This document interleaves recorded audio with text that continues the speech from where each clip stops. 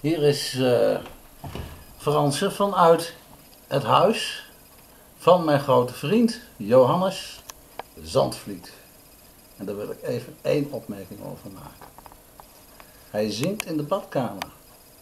En als meneer Zandvliet zingt, dan hoort u geen gewone zang. Wat u hoort is uiterst geraffineerd, subtiel en prachtig gekweel. En hoe komt dat? Dat zal ik weer even uitleggen. In de moderne muziek tegenwoordig is het zo dat men met halve noten, dat zijn dus bijvoorbeeld uh, geen genoegen meer neemt. Wat gaat men doen? Men gaat kwartnoten spelen.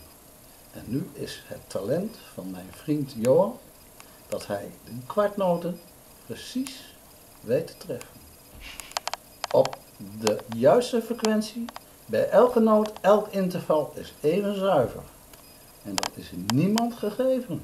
Ik heb nog nooit iemand zo zuiver vals horen zingen. Dank u. Ja, goed. Kijk, eh, u vindt het misschien wel vreemd dat ik dat zeg, maar in het algemeen wordt deze muziek, deze moderne muziek, door leken ervaren als vals. En daarom zeg ik zuiver vals zingen. Maar het is niet echt vals, want het is bedoeld zoals het bedoeld is.